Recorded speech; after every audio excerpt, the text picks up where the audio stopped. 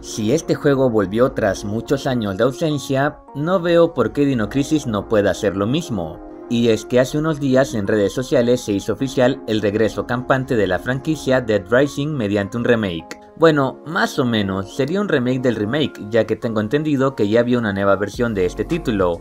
Y bueno, remake entre comillas, ya que simplemente se modernizaron los gráficos, pero bueno, en esta ocasión Dead Rising volverá con gráficos más actualizados al estándar actual en videojuegos, o sea, veremos sangre, sesos y violencia a todo nivel.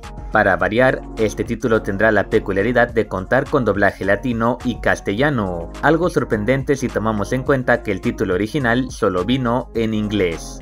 Eso sí, en el caso de Latinoamérica se desconoce aún el reparto o el país de origen, pero tomando en cuenta antecedentes probablemente sea en México. Cabe acotar que el único problema es que en esta versión del juego no escucharemos a Frank West y asociados con sus voces originales ya que por razones desconocidas Capcom ni siquiera los llamó, una pena, pero así es el mundo de los videojuegos. Se desconoce si la voz de Frank en la cuarta entrega repetirá su trabajo aquí, ya que tampoco dio luces al respecto, y tal parece que se optará por otro actor, pero será mejor no especular. Solo nos queda esperar por el lanzamiento del juego el próximo 19 de septiembre.